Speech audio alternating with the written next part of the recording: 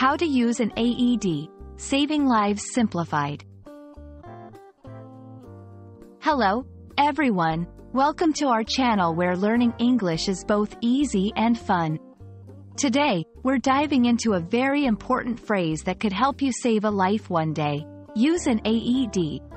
Stick around to understand what this means and how you can explain this life-saving process in English. Whether you're a beginner or an advanced learner, knowing these terms could be crucial in an emergency. So, let's get started. An AED, or Automated External Defibrillator, is a portable device that checks the heart rhythm and can send an electric shock to the heart to try to restore a normal rhythm.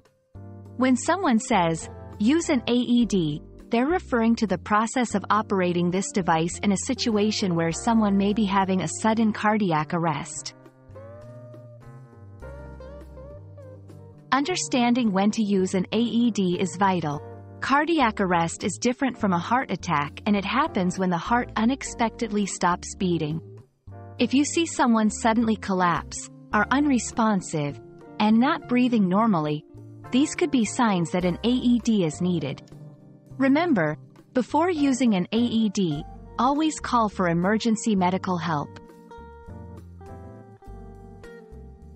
Let's walk through the basic steps to use an AED. 1. Turn on the AED. This is usually done by pressing a button. 2. Expose the person's chest. Make sure the chest is dry and free from any metal. 3. Attach the AED pads. Place them as indicated in the device's instructions.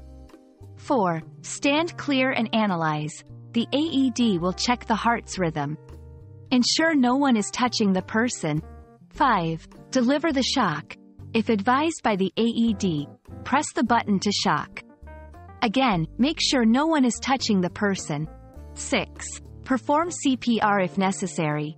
Continue as the AED instructs until emergency help arrives. Here are some important points to keep in mind. Never use an AED on a wet surface or near flammable materials. Jewelry and metal should be removed from the person's chest before using the AED. Hair on the chest can interfere with the pad's ability to stick, so it may need to be removed quickly. For English language learners, knowing related phrases can be helpful. Here are a few. Fetch the AED, please. Is there an AED nearby? I am trained to use an AED. Stand back. I'm going to shock him, her.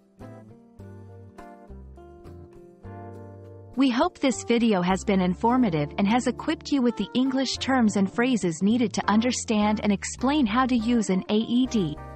Remember, in emergencies, quick action and clear communication can save lives.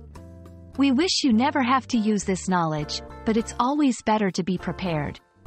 Thank you for watching, and we look forward to seeing you in our next video. Stay safe and keep learning.